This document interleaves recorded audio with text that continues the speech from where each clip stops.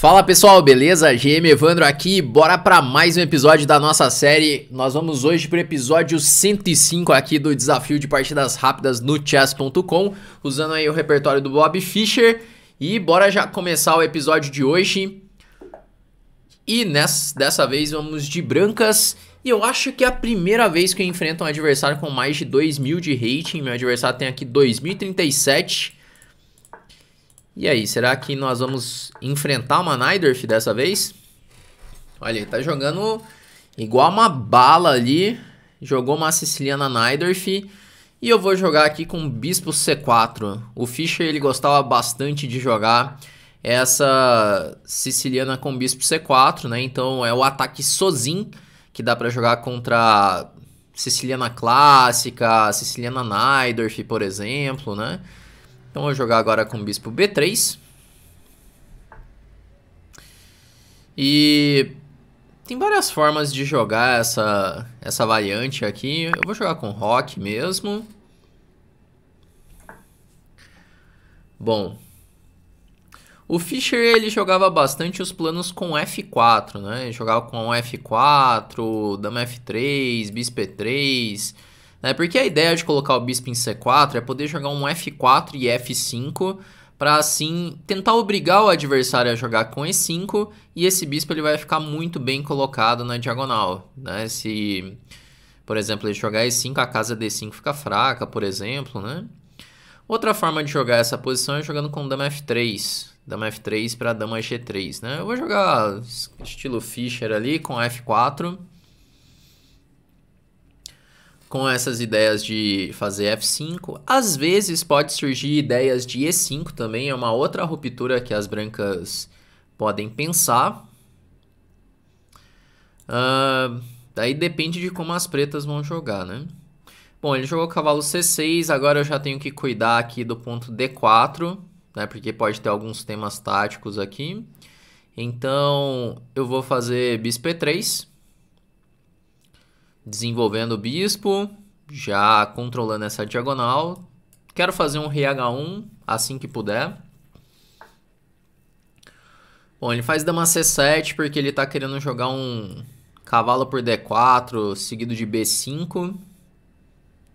Eu vou jogar rei H1, que é um lance útil. Em muitas posições rei H1 é útil. Torre D8, isso aqui já parece um pouco estranho. Eu tava esperando que ele fosse jogar com o cavalo por D4 e B5, né? Pra bispo B7, criar contra-jogo. Mas não. Duas ideias aqui eu pensei, né? Uma é jogar dama F3. E a outra é jogar o F5 direto. F5 aqui pressionando E6. Se cavalo por D4, bispo D4. Fica uma pressãozinha chata ali. Se B5, dama F3. É um pouquinho chata essa posição para ele, né? Bom, vou jogar F5.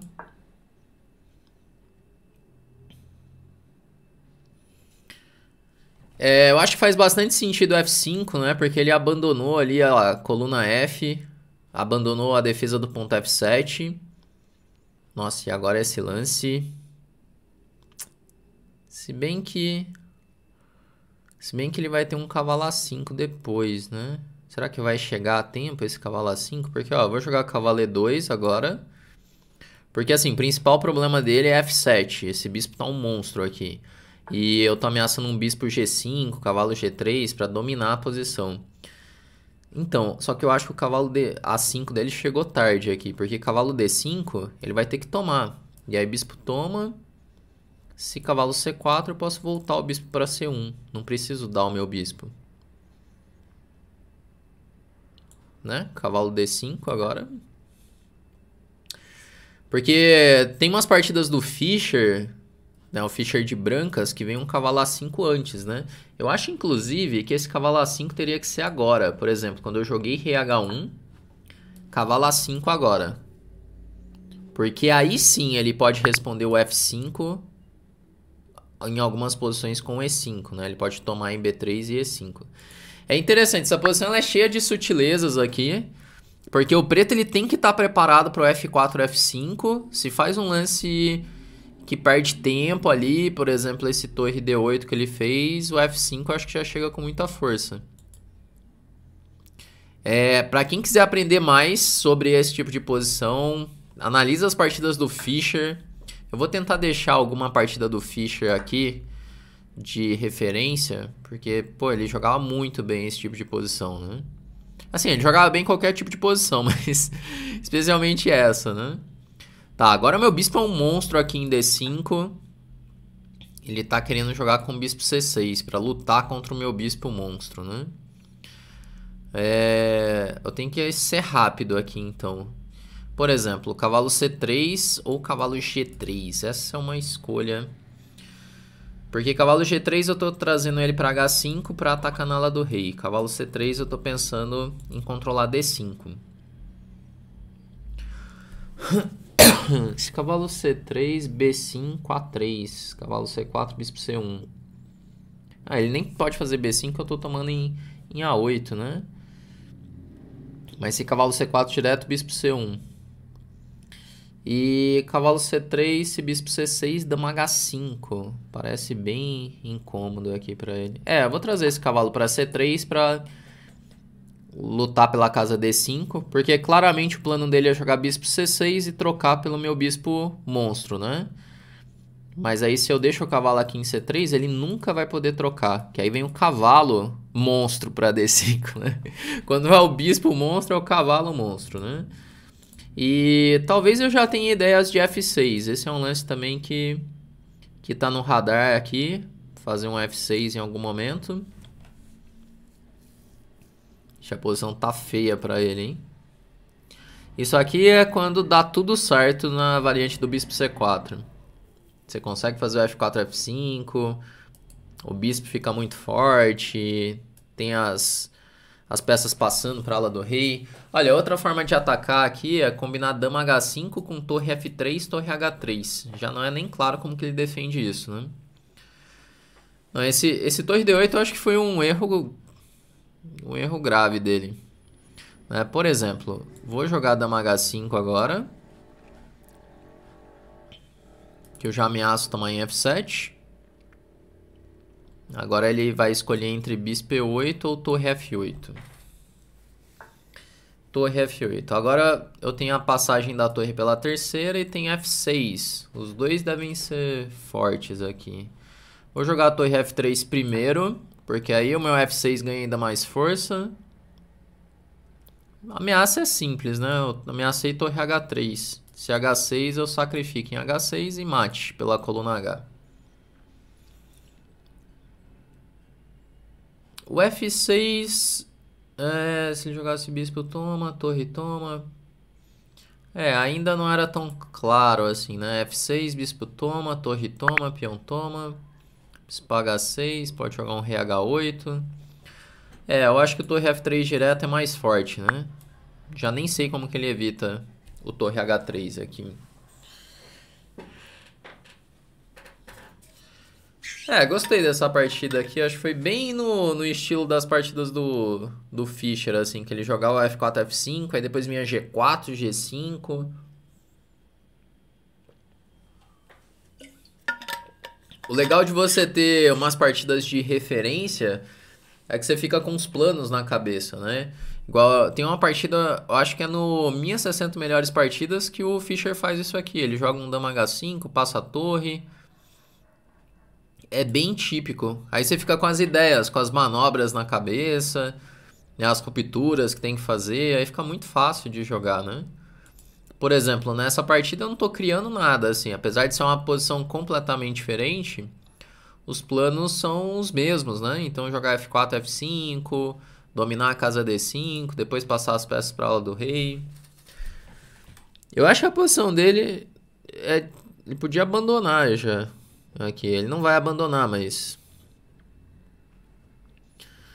Mas é difícil achar um lance aqui. Difícil dar um lance de, de pretas. Não pode jogar G6, né? Que eu simplesmente tomo, tá cravado. Peão de F. Se jogar H6, bispo toma. É... Se jogar cavalo C4, torre H3, bispo H6, bispo toma.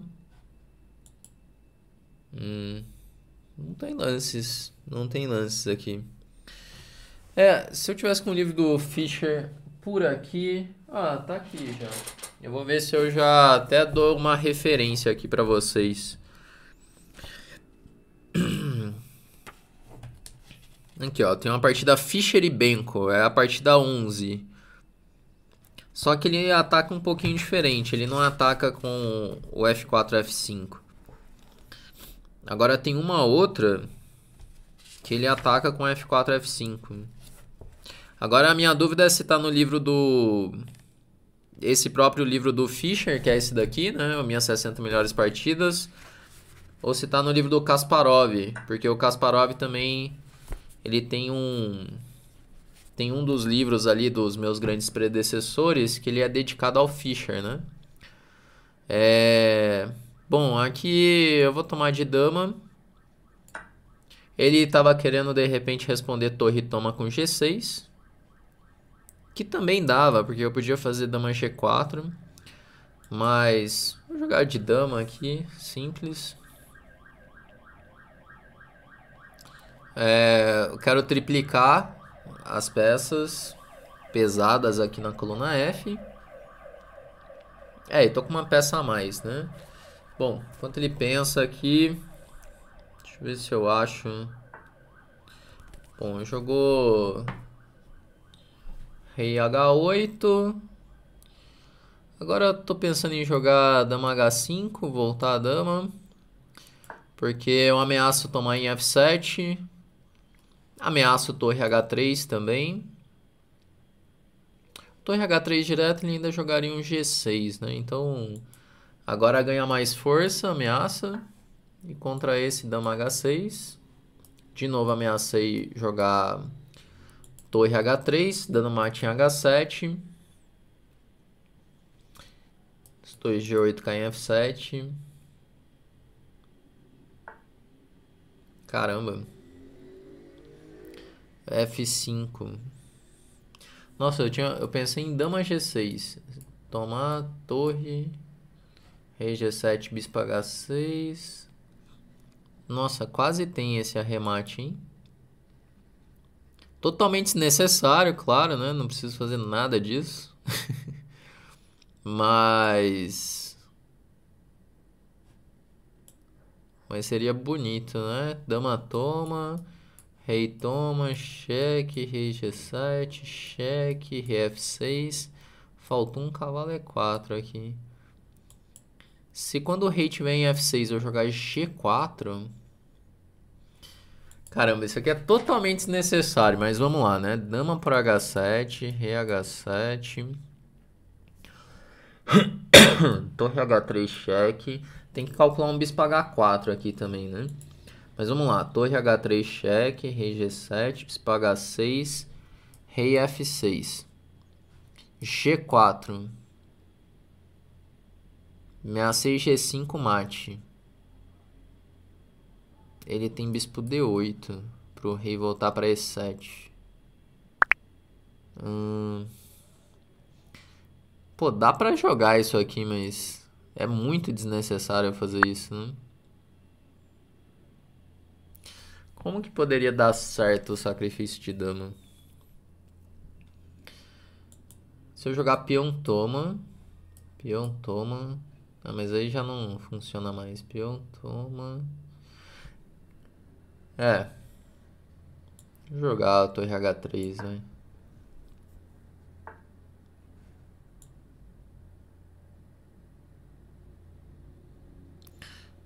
Toma em G6.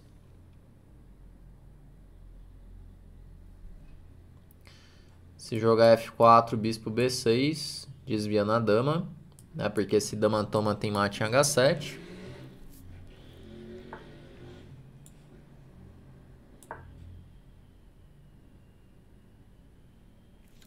Ele ainda tem dama D7. Porque se eu tomar em A5, ele faz dama por H3. Ah não, mas aí eu faço dama por F6, né? É. trocar as damas e aí cai mais uma peça aqui. Bom, duas peças a mais, tá ganho, não deu pra brilhar ali, fazer o sacrifício de dama. É, quase. Dava pra jogar até, mas depois podia estragar também a partida, né? Mas dava pra fazer. É... Bom, torre D1. Jogar bispo E6, bispo F5, ou... É, qualquer coisa aqui, né? Bispo A3. Ele vai jogar um B5, né? Para entrar com a torre em C2, pelo menos. Não jogou.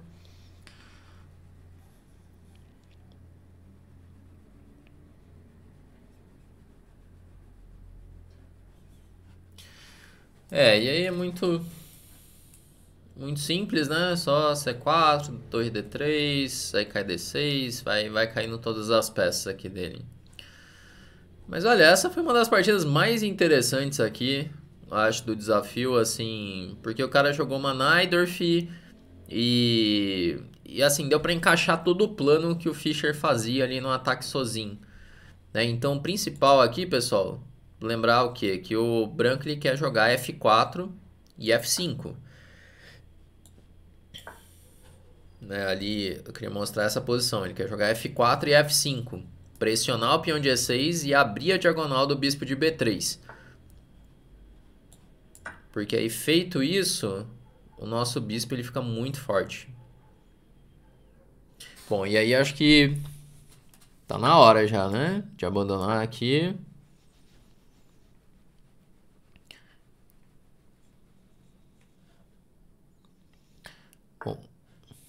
É, eu vou jogar rapidinho aqui, porque ele pelo jeito vai... Vai seguir jogando.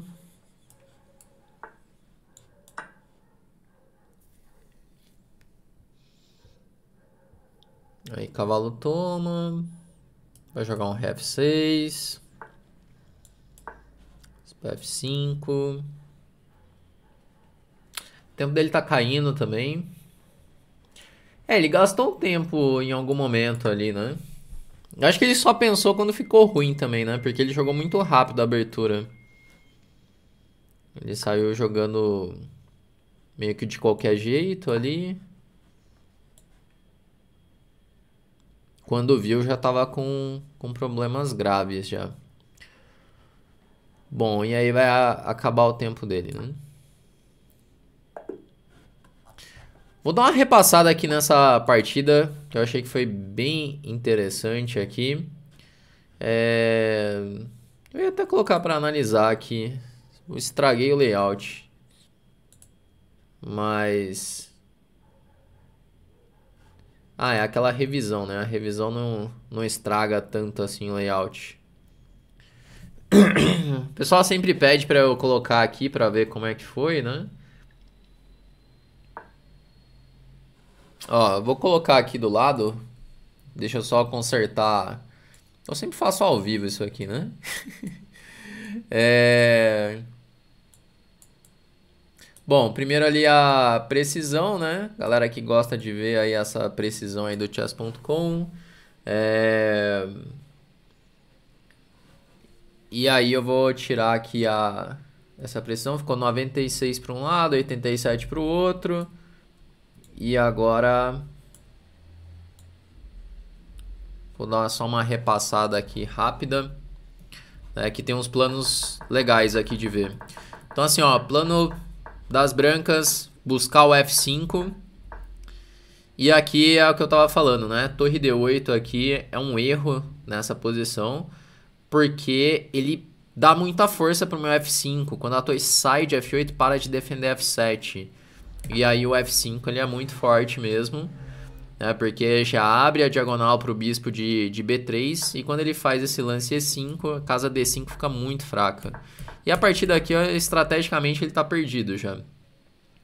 Né? Porque as peças passam muito rápido para ala do rei e aqui acabou a partida, né? Ele já deu uma peça. Acho que até aqui é instrutivo como foi a partida, né? é, para entender os planos, onde posicionar as peças, quais manobras fazer, beleza? Bom, mas é isso aí então, galera. Espero que vocês tenham curtido aí essa partida de hoje, tenham curtido mais o episódio do desafio. Não esquece de deixar o like aqui no vídeo e a gente se vê no nosso próximo episódio.